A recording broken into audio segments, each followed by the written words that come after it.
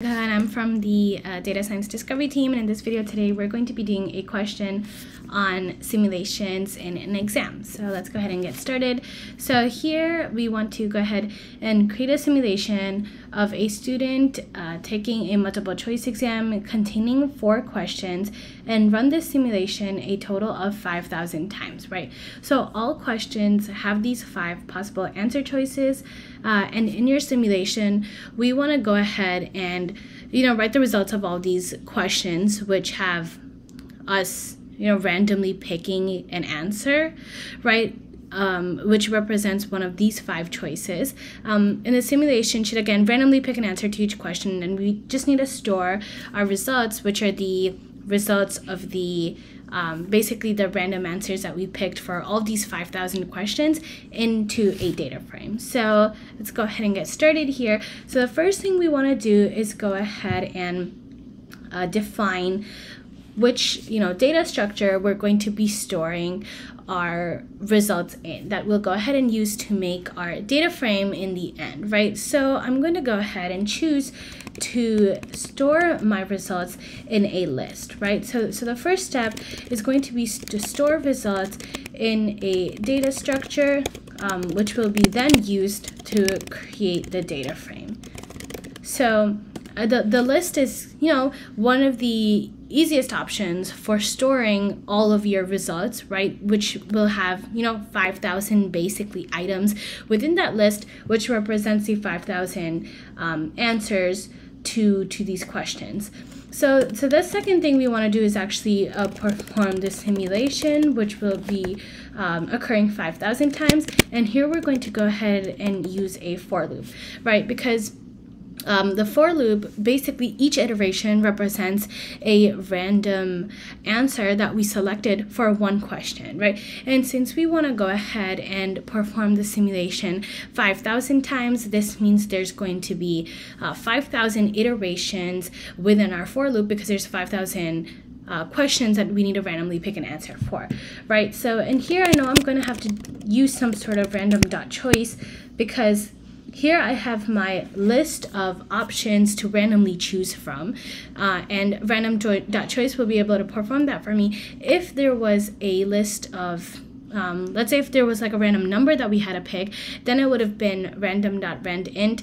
But here, since we randomly pick among these five answer choices, which is a list, we're going to go ahead and use random.choice. So just want to go ahead and um, write my third step, right, which is basically going to be to create the data frame using our data list. And here I'm going to probably use have to use some sort of function like pd.dataframe to go ahead and you know create my data frame in the end.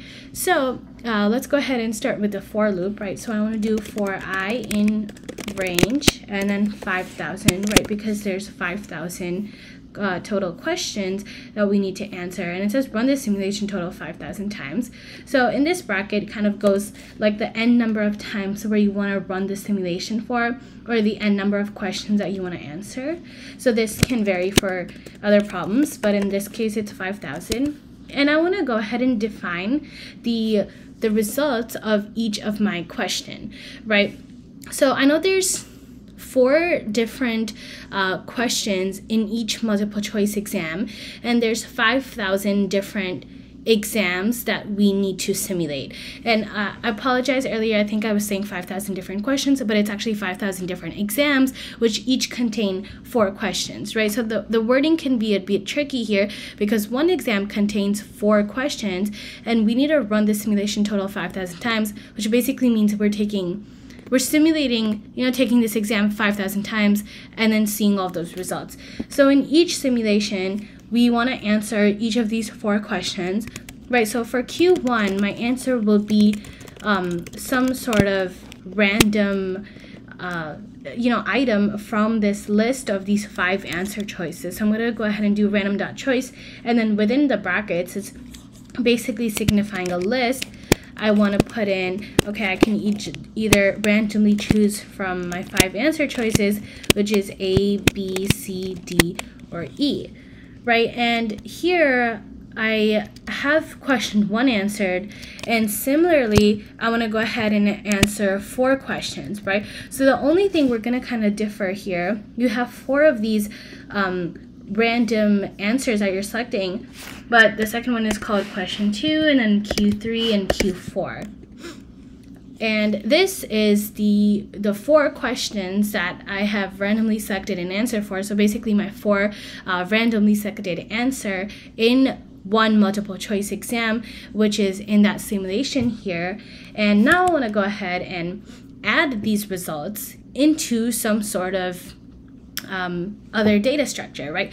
I want to each exam I take, I want to keep track of those results. Like like I can't just go to the next iteration, but what about my results that I chose in my previous example, I need to store those somewhere, right? So first what I'm going to do is I'm going to actually create a list. Um, and to create an empty list in Python, basically just use these opening and closed uh, curly braces here. And my list, my, uh, sorry, my dictionary, uh, this is a dictionary. My dictionary will have basically four entries in it, right? Because there's going to be question one, question two, question three, and question four. So each dictionary will basically have the results of these four questions. And how I store that is I basically want to enter first a key, which is going to be uh, Q1 and then a value, well, what is the answer for Q1? It's that random dot choice result that was stored in Q1, right? That represents the answer to question one. And similarly, I want to go ahead and do that for question two. Well, my um, question two is called Q2 and it stores uh, the value for question two. Similarly, Q3, it stores a value for Q3 and Q4. And notice how I'm kind of dividing the entries in my dictionary with a comma, and then I'm separating the key value pairs with a, colon in the middle. So dictionary is basically what it sounds like.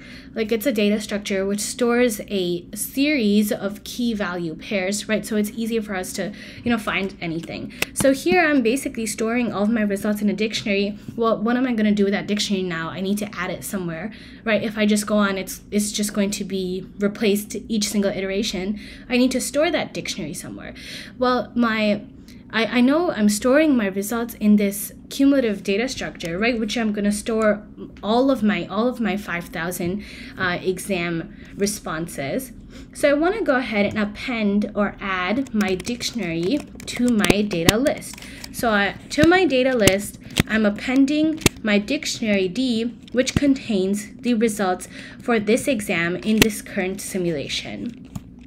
And now I'm just gonna, um, you know, it just repeats 5,000 times. So basically our, uh, our data list will have all of the results for our 5,000 exams. And if you go ahead and print out your cumulative data list to see what it looks like, it's going to have the results of all those 5,000 dictionaries, right? Because each uh, run, we create a dictionary which we append to our data list. So in the in the end, our data list will have 5,000 of those data dictionary of those dictionaries here, which will store the random uh, results for each of those four questions. So hopefully that kind of makes more sense how the, the whole logic works here.